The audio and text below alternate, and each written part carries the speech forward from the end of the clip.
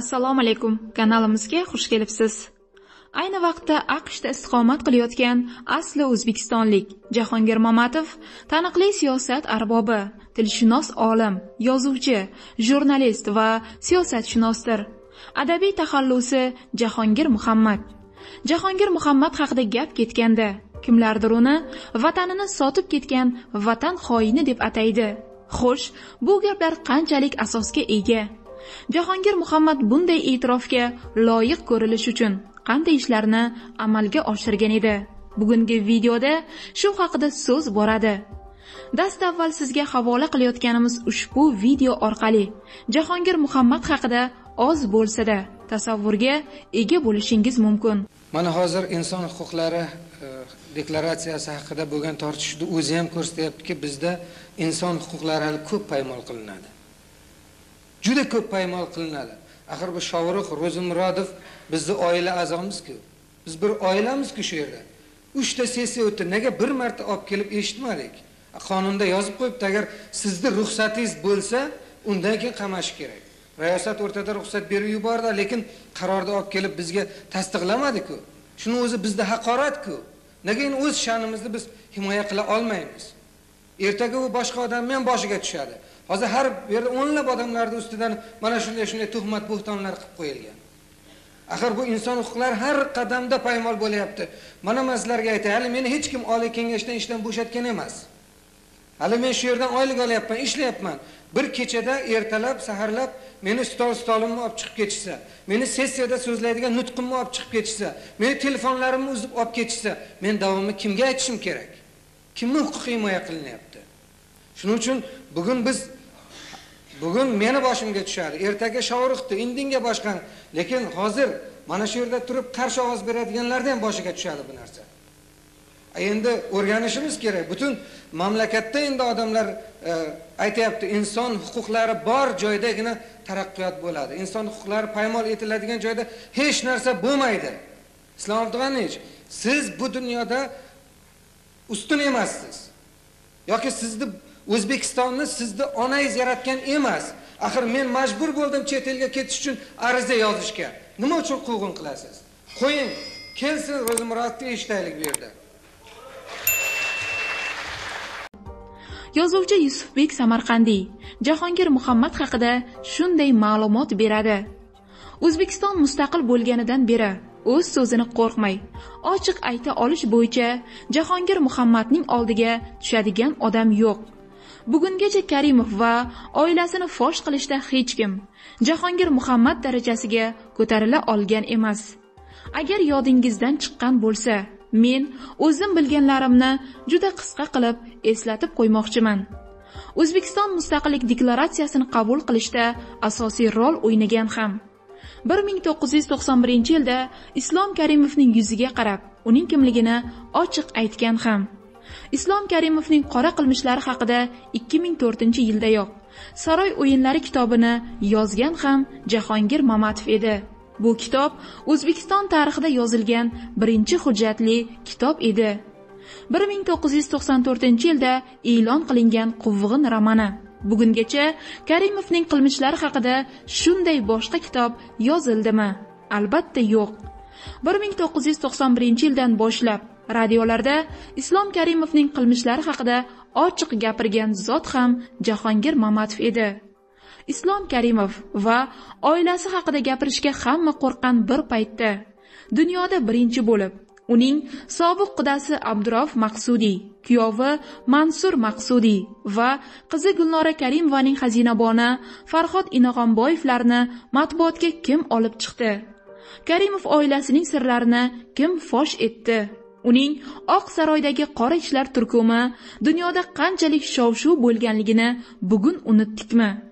Jahongir mamatovning o'ttizdan ziyod asari karimov rejimining basharasini ochishga bag'ishlangan. O'zbekiston tarixida hukumat tarkibida turib hukumatga norozilik bildirgan diktatura o'rnatilganini ochiq yozma ravishda e'lon qilib o'z vazifasidan ilk bora iste'fo bergan ham. Bir ming to'qqiz yuz to'qson ikkinchi yilning o'n oltinchi yanvarida toshkent talabalar shaharchasida yuz bergan qonli voqealardan keyin mazkur hodisalarni o'zbekiston televideniyasida oshkora yoritish imkoniyati cheklangani va mamlakatda diktatura o'rnatilganligini e'lon qilib o'z vazifasidan iste'fo bergan ham. Bir ming to'qqiz yuz to'qson ikkinchi yil yigirma sakkizinchi mart kuni erk partiyasi binosida o'tgan o'zbekiston demokratik kuchlari forumining tashkilotchilaridan biri ham jahongir mamatov edi. Islom karimovning topshirig'i bilan bir ming to'qqiz yuz to'qson ikkinchi yilda adliya vazirligi turon tashkilotini nega yopgandi? O'shanda adliya vaziri bo'lgan muhammad bobur malikovdan o'zim eshitganman. Jahongir mamatov bu tashkilotga rahbar bo'lgani uchun yopilgan edi. Jahongir mamatovning karimov haqida bir o'zi yozganlari o'nlab guruhlarning bir bo'lib yozganidan ko'p va kuchliroqdir. Bugungacha uning to'rtta yirik tadqiqot kitobi nashrdan chiqdi va hammasi aqsh hukumatining buyurtmasi bilan nashr etildi. Jahongir mamatov bugun aqshdagi eng kuchli olimlar tadqiqotchilar ro'yxatiga kirdi. Men o'zbek tilining eng jonkuyar odami deb jahongir muhammadni ayta olaman. Hech kim hali o'z tilimizning ahvoli va muammolari haqida tilimizga karimov hukumatining salbiy ta'siri haqida bunchalik dadillik bilan yozmagan edi. Agar bu ishlarning hammasi millatga vatanga xiyonat qilish hisoblansa demak jahongir mamatov birinchi raqamli vatan xoini hisoblanadi. Jahongir mamatov bu ishlari bilan kimlarningdir ta'biri bilan aytganda nafaqat o'z millatiga xiyonat qildi. Balki qachonlardir o'zbekistonda mas'ul lavozim ishonib topshirilganda bir qancha xatolarga ham yo'l qo'yadi. Bu xatolarni sobiq jurnalist karimjon muhammadjonovning yozgan maqolasidan bilib olishimiz mumkin. Jahongir muhammad televideniyaga rahbar bo'lib kelganda men yosh jihatdan tengqur bo'lsam ham oddiy muxbir edim. Ertalab bizni majlislar zaliga to'plashdi. Bosh vazir o'rinbosari erkin samandarov jahongir muhammadni bizga tanishtirdi. U g'oz teleradioni isloh qilish loyihasining avtori ekanligini aytib tashabbus jazosi bilan deb pastda biz bilan o'tirgan jahongir muhammadni prezidiumga chaqirdi. Biz hayron edik. Chunki o'z teleradio milliy tashkiloti deb atala boshlagan idoramizda rais bor edi. U oldin o'zaning direktori bo'lgan erkin hayitboyev edi. U yaqinda ishdan olingan ganja yoqubovning o'rniga kelgandi. Televideniya uchun mas'ul bo'lgan elbek musayev ham o'z o'rnida ishlab turgandi. U kishi ham yaxshi odam edi lekin shamol qayoqqa essa o'sha tomonga burilardi. Oxiri shuning qurboni bo'ldi. Jahongir muhammad minbarga chiqarkan biz qarsak chalib yubordik.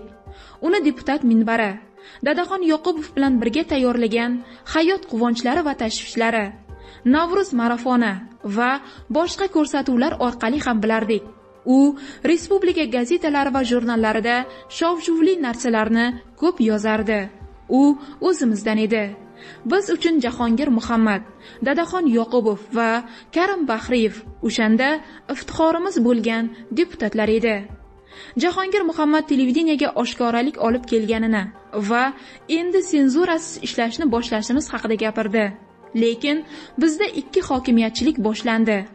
Bir tomonda erkin hayitboyev va elbek musayev ikkinchi tomonda esa jahongir muhammad. Televideniyadagi o'rgimchak uyasining jilovi elbek akaning qo'lida edi. Hayitboyev elbek akaning chizgan yo'liga tushib qolgandi. Biz jahongir muhammad uch kunda qaytib ketadi deb o'yladik chunki unga kabinet berishmadi. Elbek musayev o'z o'rnida o'tirib televideniyaga rahbarlikni davom ettiraverdi. Xizmat mashinasini ham u minardi. Har kuni ertalab bu mashinada kim kelishini kutib keyin ish boshlardik. Jahongir muhammad oliy kengashning mashinasida kelardi. Demak hokimiyat hali elbek akada. Shunga qarab ish tutardik. O'shanda qoyil qoldik. Jahongir muhammad uch kunda elbek akani kabinetidan chiqarib texnik masalalar bo'yicha raisning birinchi o'rinbosari bo'lib ishlab yurgan bitta rusning o'rniga o'tkazib qo'ydi. Bu uning xatosi edi.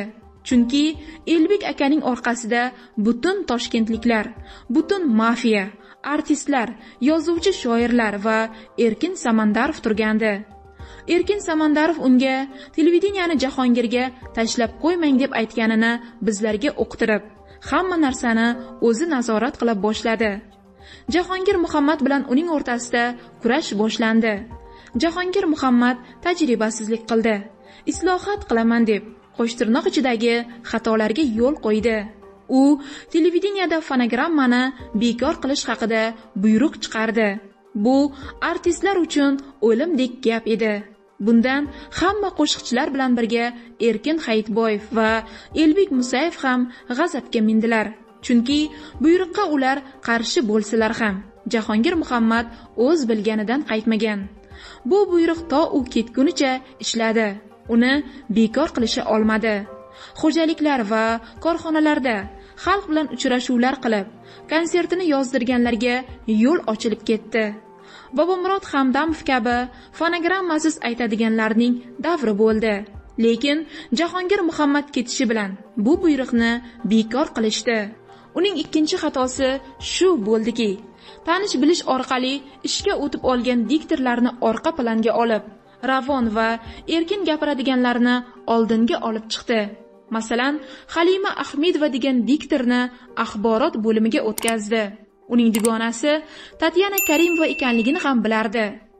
Jahongir muhammadning navbatdagi xatosi axborot programmalarini deyarli tanqidiy qilib yubordi. Nurullo ostonov abdurauf qorjovov kabi muxbirlarni ishga olib har kuni filitonlar bera boshladi. Bu tepaga yoqmasligini hamma bilardi.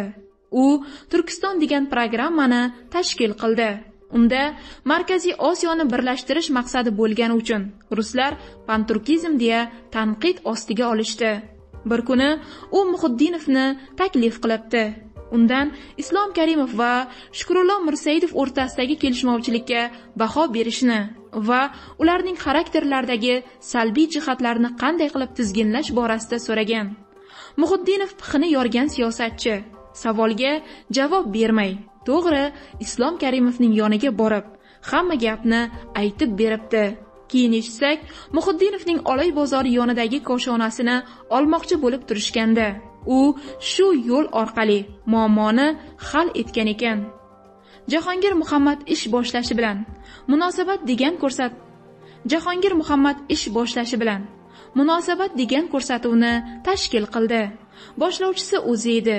U mashhur odamlarni chaqirib mana mikrofon ochiq qani dilingizdagini ayting deb qaltis savollar berardi. To'g'ri hammasi salbiy bo'lmasdan ba'zilar karimovni ham maqtagan. Menimcha bu ham oshkoralik uchun juda muhim edi. Bu ko'rsatuv erkin bo'lib unda cheklovlar yo'q edi. Bir marta jahongir muhammad erkin vohidovga mikrofonni ko'rsatib qani aytolmay yurgan gaplaringizni ayting deganda erkin aka mikrofon erkin bo'lsa ham tiling aylanmay qolar ekan degandilar. Jahongir muhammad talabalar shaharchasida yuz bergan otishmalar paytida yana bir xatoga yo'l qo'ydi. Yozuvlar solishtirilib farg'ona buka parkent voqealarida namoyishchilarning oldida yugurgan ikki kishining talabalar shaharchasida ham borligini aniqladik. Bu ishda men ham bor edim. Bu haqda reklama berilib maxsus programma soat to'qqizda efirga chiqishi aytildi. Hukumat rahbarlari kelib programmani bekor qilib yozuvlarni olib ketishdi. O'shanda jahongir muhammad erkin samandarovga sizni tarix kechirmaydi. Siz millatga xiyonat qilyapsiz deganiga guvoh bo'lganman. Lekin o'ynashmagin arbob bilan degan gaplar bekorga aytilmagan.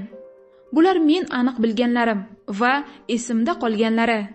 Jahongir muhammad televideniyaga o'z tv deb nom berganidan boshlab o'n ikki bandlik o'sha kunlar uchun juda ham kuchli yozilgan iste'fonomasi qo'lma qo'l tarqalgunicha yana ko'p voqealar bo'ldi. Bugun jahongir muhammad qilgan xatolarni eslab yuribmiz chunki bular bizning davrimiz uchun xatolar edi. Kelajak uchun esa ibratdir.